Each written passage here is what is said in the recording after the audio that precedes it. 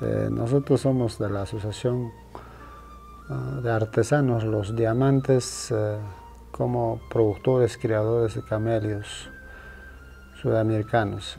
Ya también trabajamos con la fibra de vicuña que es, está protegido por el Estado nuestra vicuña, pero la asociación Los Diamantes tiene los certificados que nos permitan transformar ya sea en sombrero o ya sea en prendas u accesorios. ¿no?